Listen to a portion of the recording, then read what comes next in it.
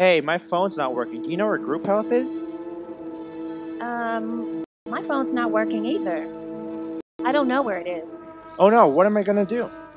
95.1 KVCM Monarch Radio breaking news. Cell phones have stopped working. A religious group has claimed responsibility. The major networks report they will be on in 48 hours. Stay tuned for updates.